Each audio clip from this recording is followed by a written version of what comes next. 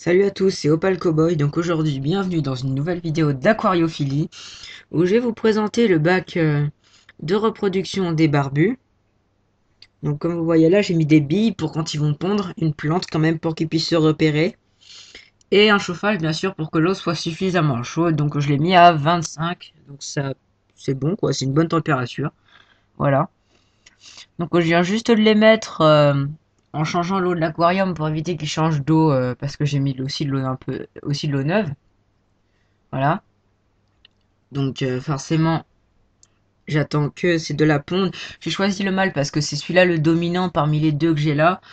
Euh, et la femelle parce que elle, celle-là, c'est celle qui a un gros ventre. Elle a un ventre bien rond, donc pour la reproduction, à mon avis, c'est la meilleure.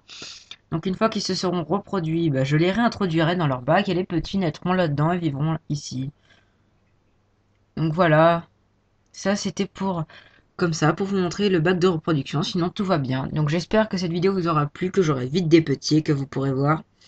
Continuez à regarder des vidéos. Au revoir et à bientôt pour de nouvelles vidéos.